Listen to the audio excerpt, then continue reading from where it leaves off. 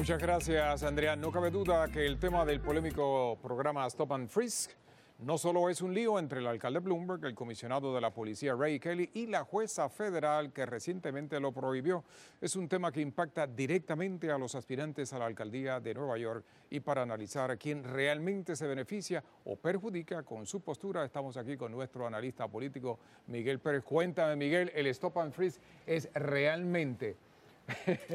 ¿Es realmente una exageración o verdaderamente es eh, yo no, yo no veo exageración, yo veo discriminación, yo veo violación contra nuestros derechos humanos, yo veo que esto ha sido devastador para nuestra juventud. 87%, Jorge, de los que han sido detenidos o eh, han sufrido de este tipo de intervención, no son detenidos, pero los que han sufrido de este tipo de intervención, 87% son o negros o hispanos.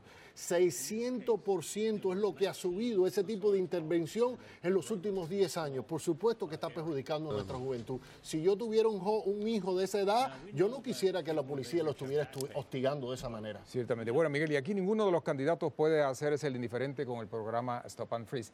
¿Quién realmente se beneficia y quién se perjudica? Bueno, después de la decisión de la Corte la semana pasada, todos los candidatos quieren hacer ver que todos están de acuerdo. Ahora, todos dicen, ahora dicen lo mismo todos, pero el que claramente estaba claro desde un principio era Bill de Blasio, que siempre estuvo opuesto a, Stop and Frisk y siempre se, honestamente, hablando de si, tener un, si tiene un hijo, ¿no? Bueno, pues él está casado con una afroamericana y tiene un hijo de, mitad negro y él está preocupado, legítimamente preocupado por lo que le puede pasar a su propio hijo. Así que él habla de una, de una experiencia personal y yo creo que eso le da una ventaja a de Blasio en este momento sobre ese tema. Hay muchos otros temas que vamos a tener que discutir y vamos a tener que evaluar estos candidatos sobre los otros temas, pero sobre este tema el que siempre ha tenido la ventaja es de Blasio.